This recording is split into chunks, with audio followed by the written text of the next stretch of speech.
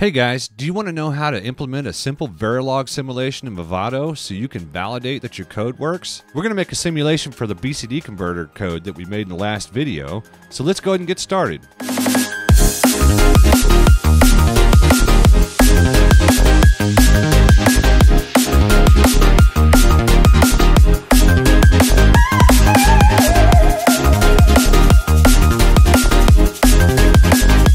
Thing we're going to do here is go ahead and create project. Um, and I'll have all this code on GitHub. I'm just going to copy and paste it in here to save us time. We'll click on next. We're going to start a whole new project. And we'll just call this one Sim so that I can find it later. Uh, we're going to do an RTL project. And we're going to go into this and build out a, a project just so that you would know, like if you're actually building a project, how it would look while you're doing it. So we'll say that I'm going to make this for the Ultra 96 board. Click on next, and then we'll click on finish. Now, just to show you that it doesn't matter at all what's going on in the actual block design, I'm going to go ahead and create just something quick that we could be in the middle of coding up, right? So I'll hit this positive button and we'll just put a Zynq processor down. And then maybe I'll run a block automation, let that do its thing. And we'll go in here with add sources. Uh, let's make a new design source. Now this design source is the code that we wrote in the last video. If you like that video, if you like this video, subscribe down below. So I could just add the file here, but if you were to do this, you would be coming in from GitHub. So I'll go ahead and create file here. We'll just call this BCD converter or BCD, click OK and finish. And I don't need any inputs or outputs because they're all in the code already. We'll click yes. And once that's done, we can go to sources, open our BCD code, and then we'll just go in here and I'll cut all of this out and I'll go grab that code and paste it in from GitHub and then we want to go ahead and save that. Um, what we can do just for posterity here, we'll go to our diagram. Uh, let's go ahead and right click on this guy and let's add it to our module or add the module to our block design. Uh, and of course, you know, if this was a, a real thing, we'd want to hook up our clock. So let's go ahead and do clock over. And of course, we would make some enables and stuff like that. Um, but let's just say I stopped here and I wanted to check and see if this actually ran in simulation. So the first thing we would do from there, let's go ahead and just save our design. You should always save your design anyways, right? And then we'll go down to add sources and we're going to actually add a simulation source this time. We'll click on next. Now, again, with this, I already have the actual simulation source code. Um, so I could just add file, but if you're using this as an example, you're going to want to download it from GitHub. So we'll do the same thing here. I'm just going to call this sim underscore TB. I always do an underscore TB after every simulation so that I know that that's an actual test bench file. Then I'll click OK and finish. We don't need to name any of these because we actually had the file, but you could go through and do it, or you could just put them in the file if you'd like. Now, once that's done, we're going to go into simulation sources, sim1, and then we'll go down to our simulation test bed here. Now what I'm going to do is the same thing here. I'm just going to go cut all this. I'll go grab it from GitHub and paste it in here and bring it back. So now we've got our actual simulation code in here. We can go through it and I can show you kind of how all this works, right? Um, now, this is a very blocky, very large simulation. It's not very elegant. It's just kind of straightforward and to the point, and that is to kind of get you guys to see how this works.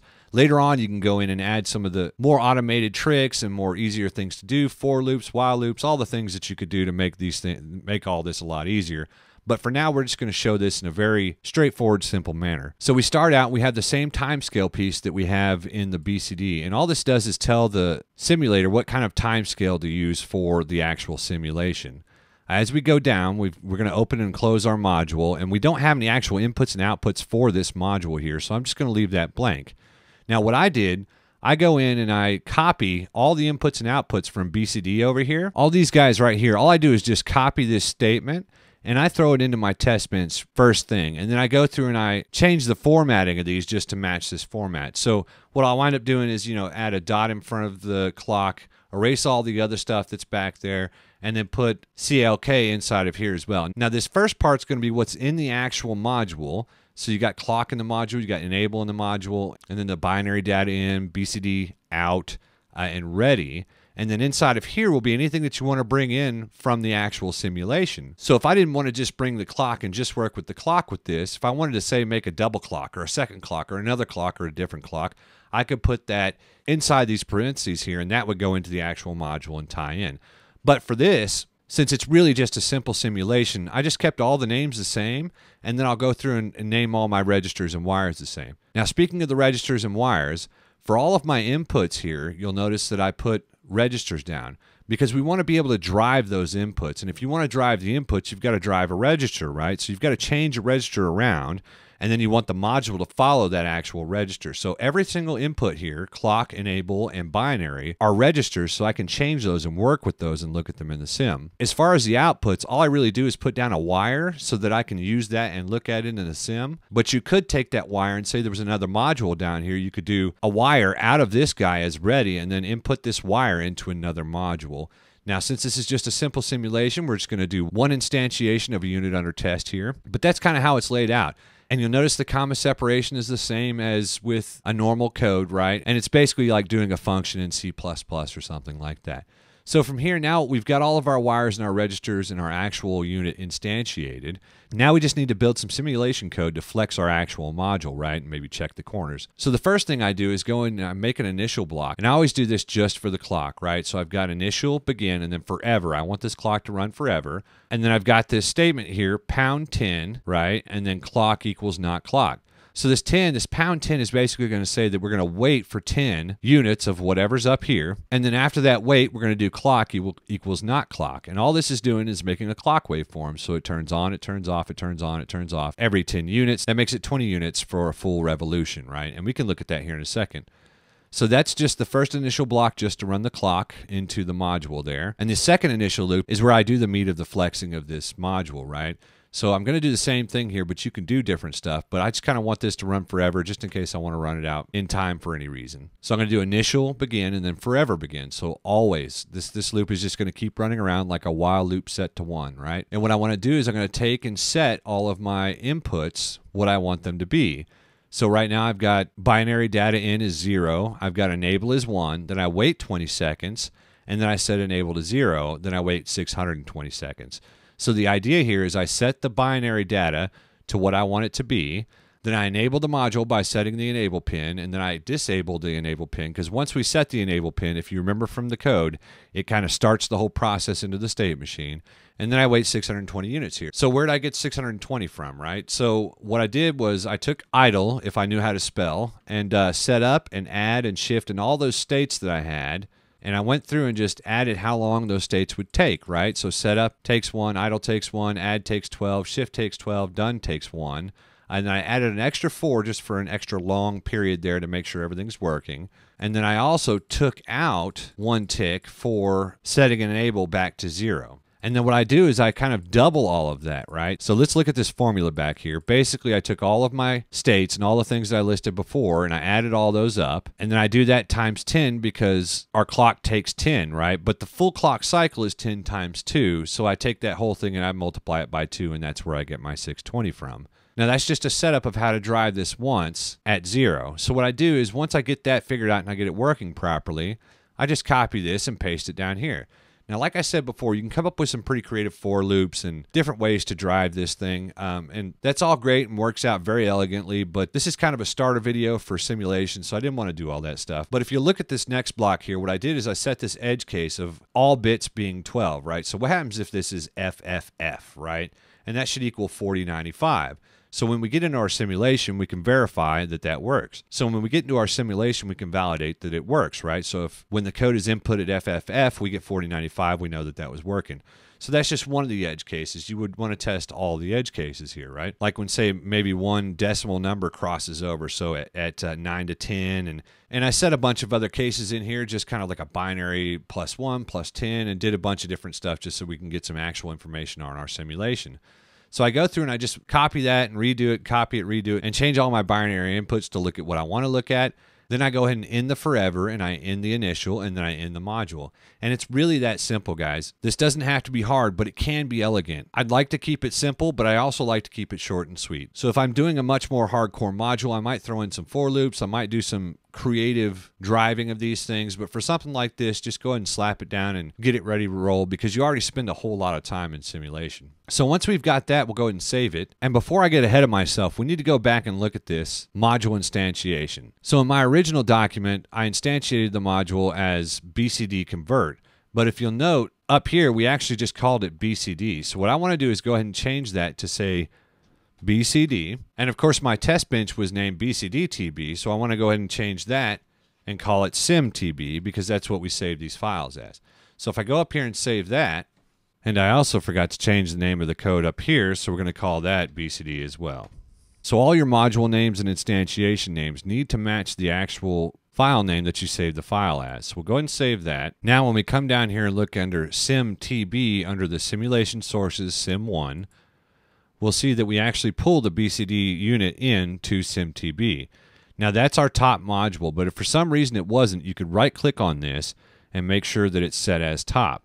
But since we actually have these little boxes next to it, that means that it's set as top and we should be ready to roll. So from here, what we can actually do is just go over to run simulation, click on that and go down to run behavioral simulation. Now, depending on the speed of your computer, the simulations can take quite a while to run. Uh, also, depending on the inputs and outputs that you got going in and out of the thing, they can also take a while to run. For some reason, it always starts up with kind of this weird window, so I'm going to kind of stretch everything back. I want to be able to get to some of this stuff. I want to be able to get to, say, my sources over here. And I also want to be able to get to this window here, which is our waveforms.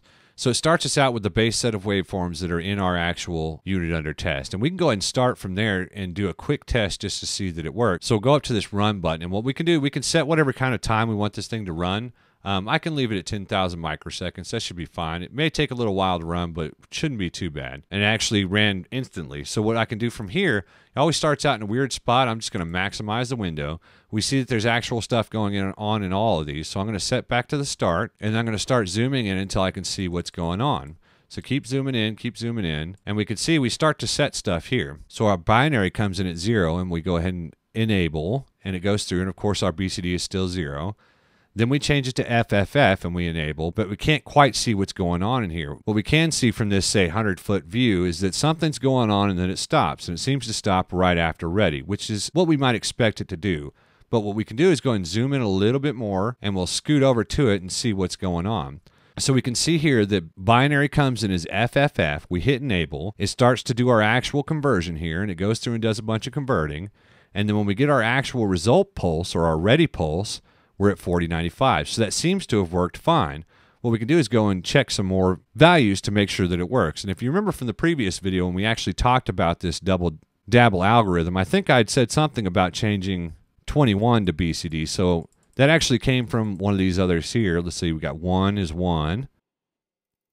We have B, which is AB, so 10, 11. So that's 11. And then we have 15, which works out to 21. So this 15 is actually the hex, right? And we noticed before that FFF is the hex. So if we really want to make this a lot easier on ourselves, what we can do, we can go over to our tag here and right click on it. We're going to go down and look at radix, right? In our radix, we can say we want to see binary instead of hexadecimal. And with binary, we can go through and look at the actual binary pattern. But what we want to really see in this is unsigned decimal. So we'll click on unsigned decimal, and this says 21, and that says 21. Now that we have that set to unsigned decimal, we can kind of go through and just make sure that everything works. We know that this is hexadecimal, but the hexadecimal will show what binary coded decimal actually is, right? So 21 is 21. Uh, from here, we can look forward and say 121 should be 121, 221 is 221, and we could just go quickly through all these and they all seem to be lining up and I've checked this before and they do. So now we can zoom back and say say something was wrong inside of our BCD unit. We weren't sure what was going on, but something wasn't working right. What we can do is go inside of the sources here and we can go down to BCD unit to the BCD unit under test and we can see all of our registers and inputs and outputs on here and our wires. So, if say we were wanting to look at busy to see when was when was this thing busy and when was it not busy? Is that where our problem is? So I can right click on that and go to add wave to window and it'll add it here, but it doesn't automatically calculate it. What we have to do is go up here and restart or relaunch the simulation. So we relaunch the simulation and it's going to go back to an odd state. We'll go ahead and hit play to play that out for like 10 microseconds and then we'll zoom out, go back to the start, and we'll start to zoom in until we can see what's going on here. Now, of course, this code is working, so it shows that it's busy all up until it's ready. And then once it's ready, it's not busy anymore. And we can also see that if we held that state for longer than the actual initial, it goes back to idle and stuff like that. So that's one way to go into your actual modules and see what's going on where uh, see where any problems might be. And with any of these hardware projects, it really is about the details. So sometimes you really got to get in there and dig down and look at what's going on at each individual clock tick and is it what you expect to be going on.